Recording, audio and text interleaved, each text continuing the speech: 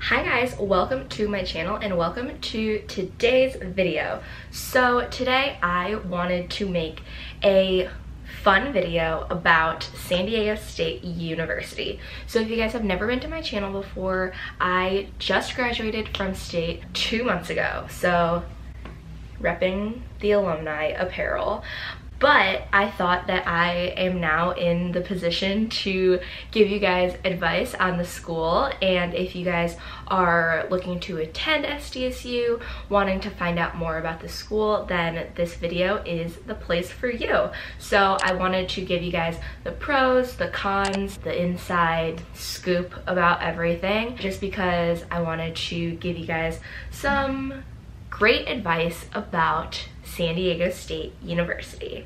So let's get started. So I think the first thing that a lot of people want to know about is Greek life. So if you didn't know and if you're new to my channel, I was in a sorority for three years. I rushed my sophomore year um, and it was like the best experience ever. I've met my best friends through um, my sorority. I was in Kappa Delta at SDSU and I had an amazing time. So with that information, um, I wasn't one of those girls who like dropped or like anything like that. And I also had a lot of leadership positions in my sorority too. And then I was also on the executive boards of other Greek organizations on campus as well. So basically all of my leadership experience was basically because of Greek life. So yeah. Um, but some of the things about Greek life that not a lot of people know about state and not a lot of people know until they're actually at the school um, is that when you're in a sorority at SDSU and you want to party with different frats and at different frat parties or whatnot, they're very like super strict about what sorority you're in if you're in a top house, if you have a GroupMe to get into the party. So when I was a freshman, I wasn't in a sorority, so I was considered a GDI. That's basically just someone who's not in Greek life. My friends and I who lived on the floor with me my freshman year, we lived in Zura. We basically would go to this same frat like every single weekend because they didn't ask for GroupMes and they let in GDIs. So I was still able to get into frat parties freshman year um, because there are frats who don't care. But if you want to go to like the fraternities who are in the stacks or frat row, um, and those are like the big parties and like the cool frats, um, you most likely need a GroupMe to get into those parties. So what I learned is that we went to another fraternity party my freshman year and at the door they just asked us what our chapter president who it was. And so we did some digging beforehand and just went online and looked up president of this sorority and then they let us in. But nowadays you need to GroupMe, and then they'll also like go on your phone and like scroll to make sure that it's not a screenshot which is like low-key crazy but that's what they do at the at the door um, because they say that it's like a liability, blah, blah, blah. They can't let in girls who are cheats, whatever. So basically, long story short, if you want to party at the cool frats at SDSU, you have to be in a sorority and your sorority has to be friends with the frat. Going into the next segment of that, there is a pretty clear tier system of Greek life at SDSU. And for some reason, it's like not like this at a lot of other schools, but at state it is. Um, so basically it's like top tier, middle tier, and then like bottom tier. And that's including like both sororities and fraternities. So basically top sororities and fraternities they'll hang out together they'll like go to each other's parties. Middle tier they'll hang out together and then bottom tier will usually like hang out together. So in my sorority we were like middle. I'm not gonna like say that we were but in the grand scheme of things we basically hung out with like middle tier frats. And we didn't party with top tier there were some girls who partied with bottom tier, but I didn't really. Um, but that's like how it is. And so like once you're in that tier, you can't really get out. You can like a little bit if like you get a boyfriend who's in a top house or like you find some friends who are in a bottom house, whatever. In my opinion, I didn't really care, and especially because I was a sophomore, I had like a lot more of like an open mind. Um, but there are like a lot of people who genuinely care about the tier system at SDSU, and it's like sort of weird. But now that I graduated, I have figured that it really doesn't matter. But a lot of people really did care about the tier system, and like you're in just like a bubble of like who you can hang out with and that sort of sucks um, just because if you want to hang out at like different frats like you can't and I've heard at other schools, like even in California, like girls can just go to any frat they want to and it doesn't matter. And like if you're a girl, you could go to anywhere, but that's not the case at SDSU. So that's just something to keep in mind as well. Um, and yeah. and then also in Greek life, there is definitely a lot of cliques and I definitely realized this too, especially like in my own sorority. Basically in my pledge class, so like I was a sophomore, so like I hung out with a lot of the sophomores. There was also a few juniors, um, and then there was like the freshmen obviously, and that's like the majority part of a pledge class um, because they are trying to recruit like obviously the freshmen. So mostly the freshmen like all hung out together and then like the older girls which were like sophomores and juniors would hang out. And so that like created like a little bit of a divide honestly. Um, and then within the freshmen there was like a group here a group there a group here a group there. It was never like everyone was always together um, which sort of sucked but you were just able to find like your close friends faster I guess. So that's a big thing too. A lot of people think sororities are like a big happy family, but honestly it's pretty clicky. Um, so yeah, that is what I have to say about Greek life. And now onto the area of SDSU. So the area of SDSU, it's in the ghetto, like the straight up ghetto.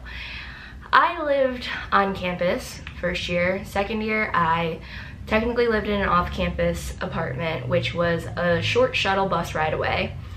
Third and fourth year, I lived technically again off campus, but the apartment was literally like right there, like basically on campus. And all I gotta say, it's in the ghetto.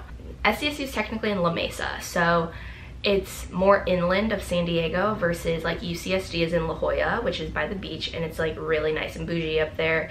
USD, another really bougie campus. SDSU is in the ghetto. So that being said, it's really unsafe at night if you're walking by yourself and it's dark. There's creepy people. Creepy people would come to the campus just to like try and find girls to like do things to. Um, really unsafe. I would always have my pepper spray on me constantly. Um, there would also be like police alerts happening all the time about like armed robberies, people getting their phones stolen while they're just walking outside and like all of this crazy stuff. And honestly, the entire time I lived there, I was just like freaked out constantly at night um, because it is so unsafe.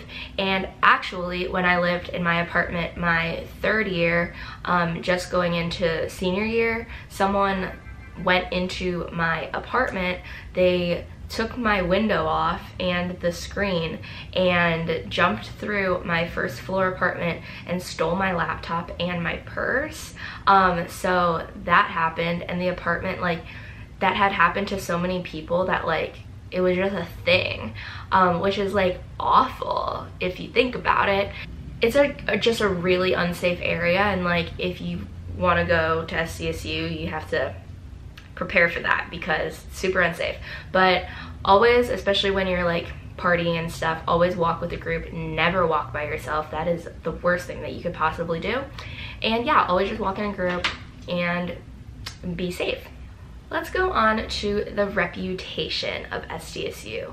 So whenever you talk to people and you're telling them that you're gonna go to state, people automatically assume that you're attending a party school, which it isn't as much as a party school as people make it, um, you can honestly go your entire SCC career and not party. Um, it's not like a thing where literally everyone is out partying every second. Um, no one's studying. It's just all parties every day. Again, you make your college experience how you make it, and if you want to party all the time, then go ahead. Um, there were definitely people my freshman year who partied all the time, including myself, um, but then I turned out okay, and you have to really like make time for like what you want to do whether it be studying for your classes um, going to class participating in clubs being a leader in those clubs all of those things. So SDSU has definitely died down in the past few years especially most recently the fact that a lot of the fraternities are like on probation right now. So I don't think there's partying happening right now. Again, I haven't been there in a semester now, so I'm not sure. No, actually? Okay, yeah, yeah, yeah. I just like blanked right now. I was there last semester, but I graduated from Kappa Delta in May, so that's why I haven't been a part of the Greek life scene. But anyways, party school or not party school, you make what you make of it.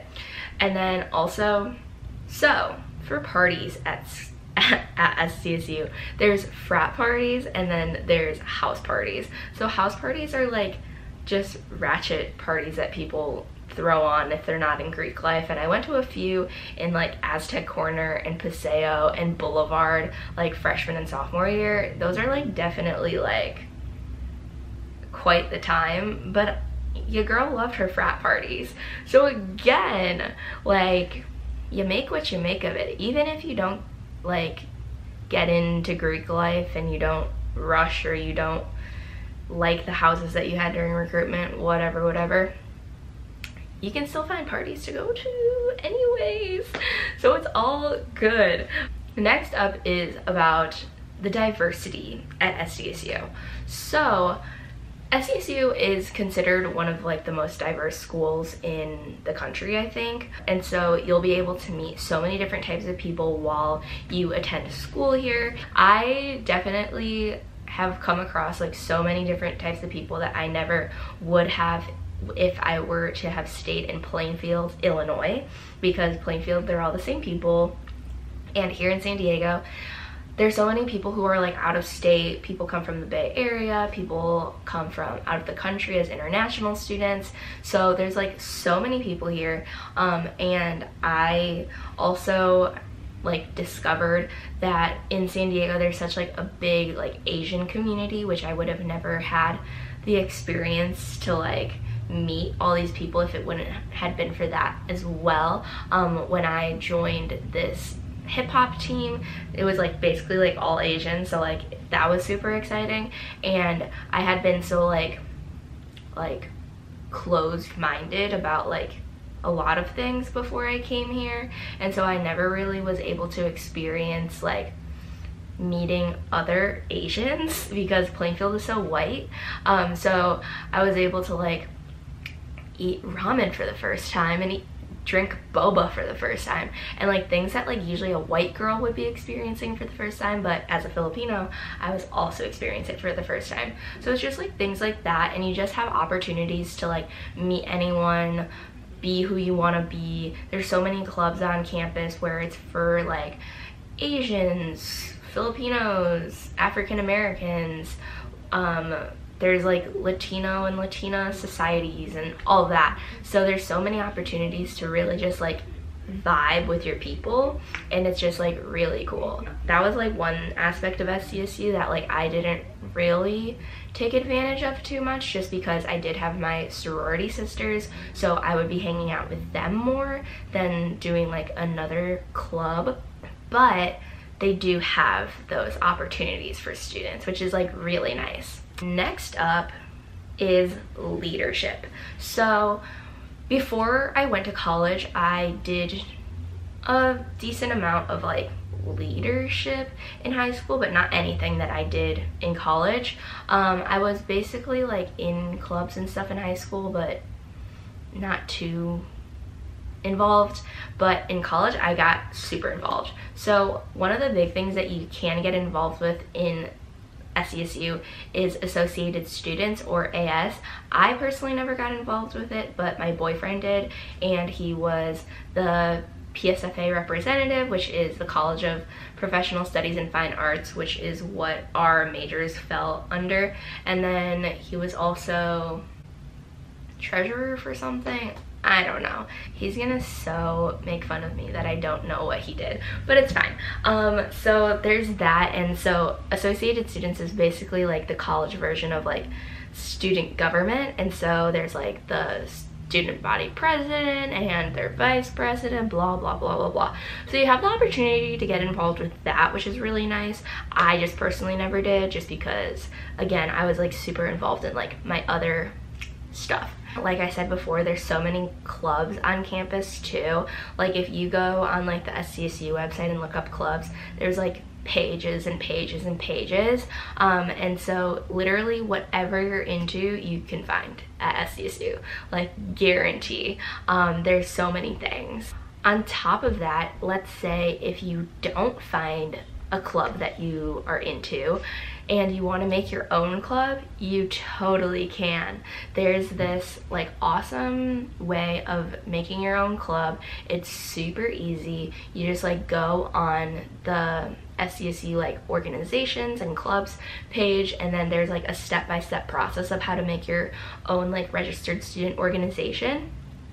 And so during my senior year of going to state, I started up my own club called Her Campus at SDSU. And so if you don't know, Her Campus is like this media company and basically they have chapters at like all of the schools pretty much and it's an online magazine for every single school and you have a team of writers who write articles about like beauty, lifestyle, fashion, all that good stuff. And I also had an executive board, and so I had my senior editor, my social media director, my marketing and publicity director, my events director, my recruitment director. So I was able to make that from scratch, and so I was able to do that for a year until I graduated.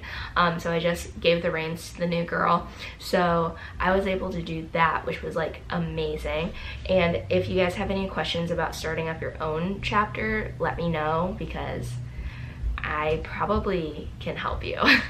um, but that was really cool too, just because like being the president of your own club is something that a lot of future like careers they'll look at and be like wow that's super cool you're also given like this huge like responsibility of being president and like all of these girls are looking up to you and is like you're the one who tells us what to do um, so you get to do everything. It's like amazing. And you can basically do that for anything just because you can create whatever club you want to. Um, all you have to do is like you just need like five other students their red IDs and then an advisor and then you just have to complete like this training. Super easy. Um, but yeah if you guys have any questions about that, let me know down below. Um, but also on top of that, at SDSU, they do have this event called the Leadership Summit. And so I attended that last year and it's basically an entire day where they have like breakout sessions and speakers and all of that about leadership at SDSU just because leadership is such an important thing at that school and I definitely learned that. Um, beforehand, I wasn't really much of a leader. I sort of was just following and would just be like a general member of clubs, but not really a leader. So attending SDSU really helped me with that and like learning who I am, how to lead, be all of that. So they do have that as well, which is really nice. And then they do just offer like leader leadership training like throughout the year, which is really cool too. Um, and then also in the student union, they have an office on the third floor. Um, and then they have just advisors up there for like leadership and clubs and organizations as well, which is like really nice. It's called Student Life and Leadership love that place. And then lastly with leadership, I obviously had majority of my leadership experience through Greek life, which is like something I'm very thankful for. Um, so within my sorority, my main leadership position was academic excellence chair. So I was basically just in charge of all of the girls like grades. I had meetings with people who their GPA was lower. Um, so I worked with our um, standards and all of that. And then also I worked with our VP of operations because we did host an event twice a year at the end of every semester for the girls who either A, went above and beyond with their grades, yeah, with their grades, and also for Dean's List girls. So we basically would, I remember I went to Costco, I got like a bunch of bagels, um, food, we did prizes. So this was when I was the campus rep for the social life. So we did t-shirts. I remember we did personalized stickers one time. We did um, bracelets, like so much fun stuff. So I was able to host events. Um, we did different like things for the chapter for grades as well. So that was like a huge leadership position. And then I also remember my second year in the chapter, I was like the magazine chair. So Kappa Delta had like a national magazine, so I did that. And then I also was a part of like smaller committees as well throughout Kappa Delta. And then outside of Kappa Delta, I was vice president of membership for Order of Omega, which is a national Greek honor society. I was social media and public relations director of Rho Lambda, which is a national leadership um, sorority honor society for people who have great leadership experience within like Panhellenic. And then I also was a Rho Gamma for Panhellenic recruitment. And so I helped girls find their sorority. Um, I made a video on that if you guys want to check that out. And then also, again, I was campus correspondent and chapter president of her campus at SDSU. So a lot of leadership opportunities for you. You just have to put yourself out there and just like make college what you make of it. And then the last thing that you guys probably want to know about is everything about school and classes. And I would have probably put this first, but I know if you're watching this video, you cared more about knowing about Greek life and partying. So this one is last, but you know, best for last. The first thing that I wrote here is that 100 level classes are a waste of time. So when you're a freshman, you have to sign up for general education courses, and so they are just there for you because they're a requirement. So I remember I took like COM 103, I took some weird math class, I took some weird history classes. I had to take like Spanish and it was basically like stupid classes that I like is like a little bit harder than high school and they were all classes that don't pertain to me now. I don't remember anything that I learned in those classes. They were stupid. And so with that being said, they were just a waste of time honestly and I hated them and it was just not fun. And I think that's why too freshman and sophomore year people can party a lot more and have a lot more fun just because classes suck. But you do have to make sure that you still put like effort into those classes because they still matter because they will still be on your transcript. Um, but for me, they just like were not fun at all. I didn't like any of them. And it wasn't until junior and senior year which I liked my classes, which are when you're in like your major specific classes. So I hope you like those. Um, but yeah, and then the next thing that you should know at SDSU is that classes fill up like hella fast. For SDSU, basically registration, you get your specific registration day, time, and then you can register for classes in your online web portal. So if you have a later registration date and all the classes that you need are filled, then you have to get on a wait list and then who even knows if you're gonna get on those classes still and it's just like stressful and not fun. So there was like a lot of times where that happened to me. Those especially happen to you when you are looking for those 100 200 level courses just because sometimes those classes have like 500 people meaning that everyone wants to take it meaning it's probably an easy class meaning it will probably be full so that happened to me a few times and then I had to end up taking like another random GE class, which I didn't like. So again, classes fill up fast. You just have to make a plan on what classes you would take instead of the of your first option so just basically like a plan b option a plan c you know you know the deal Another thing that I wanted to share with y'all is that regular advisors aren't really like that helpful in the academic advising center. Um, they're just there to like make sure that you're like taking your classes but like if you have questions about like specific classes or like anything like that they just don't really help that much. I found the most help through my major advisor. Um, alexa in jms was the best advisor ever. She's the cutest thing. And so if you are in the school of journalism and you have a question go to alexa because she will save your life she is the one who, and any other major advisor, will know more about the specific classes. Regular academic advisors, they just sort of are there to keep you on track um, of graduating on time, which I didn't even do. So again, not that helpful. Regular advisors, no bueno. Major advisors, pretty good. Talking about journalism, this is for all my journalism friends out there. I decided to major in journalism after I figured out kinesiology wasn't going to work anymore because I couldn't even do Chem 100. And so then I switched to journalism and the first few classes were good. I had some like social media classes, that was super fun, but I didn't realize that I wanted to emphasize in something like um, media studies or public relations until it was too late. And so then I was stuck in just journalism, meaning all of the people in my classes, even though I found my really tight homies, super amazing BFFs for life in my classes, they all wanted to be like news reporters or writers or in broadcast television or just like news like that and I honestly hate that.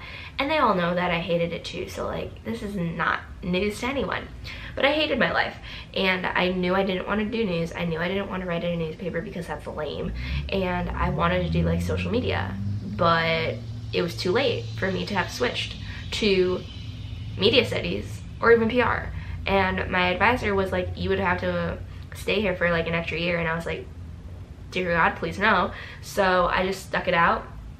But if you know you don't want to be a news reporter, do not do just journalism. People will tell you that just journalism, like, you'll be good. Like, it's a broad major, so like, you're fine. But now I tell people I was just journalism and I'm applying to these social media jobs. And so if you're doing a major like that, you need to have internship experience, like for sure. And I had technically three internships during my college experience. So you definitely need to have internship experience because they're gonna care about they're going to care more about internships than school, honestly. And it's crazy because you're paying all this money to go to school for your degree to get a job, but they're gonna care more about your internship experience than your classes, which is interesting because I've had interviews before where I'm explaining to them all this experience that I've gained from these classes and they don't care. They only care about what you did in an internship. So that is also something to take with a grain of salt because I don't know basically just get your internships in line. Doesn't matter if they're paid or not. They won't care about that either. Just make sure you have some internship experience to put on your resume with addition to your other stuff, obviously. Um, and then also with JMS, just like, I don't know. I don't know what to say more about that. Just, I didn't like my experience, but again, it's different for everyone. Okay, and last thing about school is just know what you want to do. So if you didn't know, I had to take an extra semester because I was late to the game with journalism. Also with journalism, you have to take this test to get into the major called the GSP or the Grammar, Spelling, and Punctuation Test. So you have to pass with a high score and no one passes it and everyone has to petition into the major. So I had to take the test three times until I failed all three of them. I had to petition my way into the major, which is why I had to take an extra semester. And so there's just like things like that that's annoying. But all I'm saying is just know what you want to do if you want to graduate on time. Again, I started off with a different major. I added a new major. I added a minor, and then I had to take minor classes, and then I had to take my major classes. I had to take tests to get into a major, all this stuff. So if I would have went back, I probably would have started out as like undeclared and so you can just take different classes in different areas and then you can really figure out what you want to do which is like a lot smarter now that I think about it but again I didn't know anything and so I'm just here to help you guys just like know what's up because I didn't know. And now I wish I could have done that. And so I could have gotten like a little taste of everything. But again couldn't do that. They also have the option of like interdisciplinary studies where you basically have like three majors. But again I didn't do that. Okay, and so to end things out, basically overall, going into SDSU was honestly like the greatest four and a half years of my life. I met the most amazing people. I took such great classes. I got such great opportunities through going to SDSU. I partied hard. I did a lot of fun things. I met my amazing boyfriend. I met my amazing best friends and roommates and just everything. And I was able to go a lot of places, do a lot of things, hang out, do all that stuff. And so again, I wouldn't have gotten all of that unless I moved 2,000 miles away from home and started my life here four and a half years ago. And so I'm so thankful that I left Illinois and came here because my life would be a lot different now if I wouldn't have done that. And I don't regret a single thing. So if you guys are planning on applying to SDSU or you're going to SDSU, best of luck to you. I wish you all the luck in the world and I hope you have the best four years or more than that of your entire life. SDSU is the most amazing school ever. Um, I wouldn't have gone to any other school and yeah. So that is today's video. I wanted to give you guys an inside look of Greek life, um, leadership, clubs, school, all that stuff. So I hope you guys liked today's video. I hope you guys found it as helpful as I did when I was trying to find videos like this when I was an incoming freshman. But yeah, that is it for today. I hope you guys liked it and if you did make sure to give this video a big thumbs up and then leave some comments down below for me if you are going to be attending SDSU or anything that you want to write me and then also make sure you go follow me on my Instagram at Emily Myint. I post a lot of my behind the scenes stuff on my stories there and then also I just mostly use Instagram in general so make sure you guys go follow me on there and then also just make sure you go ahead and subscribe to my YouTube channel if you guys like this content and if you want to see more college related videos.